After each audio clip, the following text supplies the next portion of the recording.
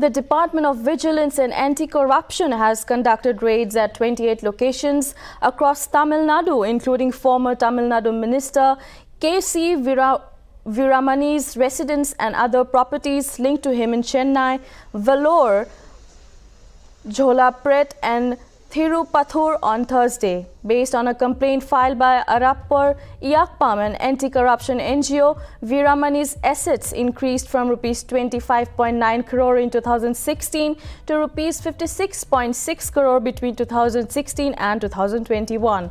Following the complaint, the DA DVAC filed an FIR under several sections of the Prevention of the Corruption Act 1998 and initiated the raid.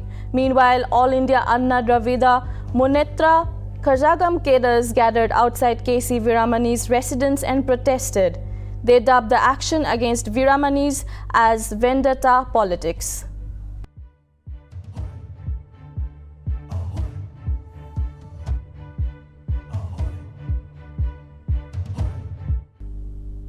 Welcome to St. Joseph University, where our vision is to learn, discover, create, and innovate. Our university comes with a state of the art infrastructure where we offer chemistry lab, an engineering lab, life science lab, physics lab, zoology fieldwork, and many more.